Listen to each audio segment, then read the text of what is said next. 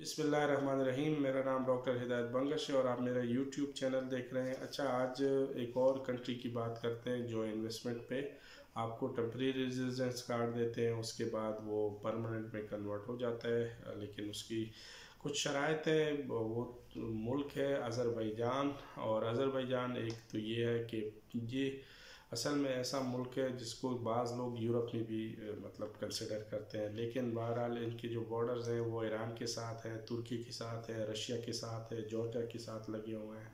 दूसरा ये है कि एक अच्छा मुल्क है सिक्योर है क्राइम रेट ज़ीरो है और बहुत से लोग यहाँ पे इन्वेस्टमेंट भी करते हैं और इसके अलावा मतलब बिज़नेस भी करते हैं। और तो ये इसलिए जो पाकिस्तान, इंडिया, बांग्लादेश इस तरह के ममालिक के लिए ये अभी भी विद इन रीच है। अगर आप इन्वेस्टमेंट पे आप वो लेना चाहते हैं यहाँ की रेजिडेंस कार्ड तो ये अभी भी रीच में है। इसमें जो असूल हैं, पहले तो ये है कि अगर आप इन्वेस्टमेंट करते हैं, दो तरह के हैं। एक तो ये है कि आपने एक लाख मनात, जो तकरीबन सिक्सटी थाउज़ेंड डॉलर तक बन जाते हैं।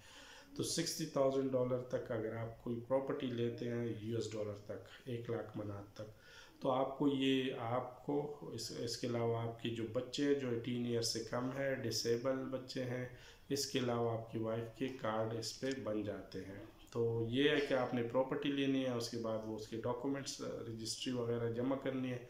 उसके बाद आपकी प्रॉपर्टी की वही एक तरीका कार होता है कि वेट होंगे क्या है, ये एक लाख का है कि नहीं है?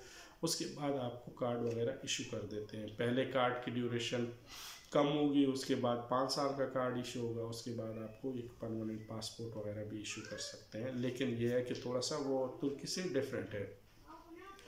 एडवांटेजेस क्या हैं इसके?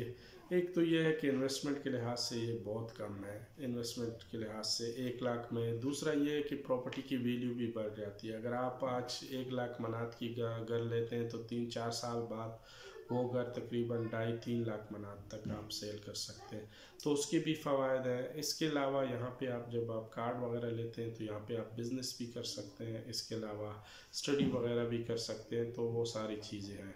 हाँ लेकिन थोड़ा सा ये डिफरेंट है, ये टेक्निकली आपने याद रखना है कि यहाँ पे जब आप इन्वेस्टमेंट मतलब इन्वेस्टमेंट करते हैं प्रॉपर्टी लेते हैं तो प्रॉपर्टी पे जब आपको यहाँ के डॉक्यूमेंट्स पासपोर्ट मिलता है तो उसके बाद आपने पाकिस्तान या इंडिया या जो है, ये नेशनलिटी आपने ख़त्म करनी है। मतलब ये ड्यूअल नेशनलिटी को सपोर्ट नहीं करते। तो आपने अगर अज़रबैजान की नेशनलिटी लेनी है प्रॉपर्टी पे तो फिर आपको वहाँ के अपने मुल्क की जो नेशनलिटी है, वो सरेंडर करनी पड़ेगी। तो ये एक चीज़ है। लेकिन बहरहाल अगर आपको कार्ड मिल जाए, जो टेम्प्रेरी कार्ड होता है, पाँच साल का तो उस पर भी आप आ जा सकते हैं और वो, उनकी जो फैसिलिटीज़ हैं अज़रबैजान की वो इस्तेमाल कर सकते हैं। तो प्रॉपर्टी के लिए इनका यही है कि एक लाख मनात तक आप इन्वेस्टमेंट कर सकते हैं। इसके अलावा अगर आप प्रॉपर्टी पे नहीं है तो बैंक में भी अगर आप डिपॉजिट है या जिस तरह मनी रखते हैं बैंक में लाख मनात तक वो रख सकते हैं, उस पर भी आपको नेशनलिटी यहाँ की या आप कह सकते हैं कार्ड टेम्प्रेरी रेजिडेंस कार्ड वो मिल जाता है। तो आपने अपने हिसाब से बनाना है। ये थोड़ा सा, उस हिसाब से इसके रूल्स मतलब आसान है। तो आप बहुत से लोग इसको कर सकते हैं जिनको मतलब अगर मूव करना है तो ये बेस्ट कंट्री है। सिक्योरिटी के लिहाज से भी फुली सिक्योर है और बाकी भी इसके जो माहौल है वो अच्छा है।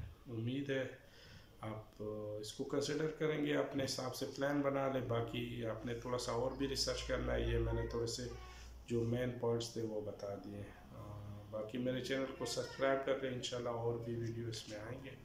थैंक यू अल्लाह हाफिज़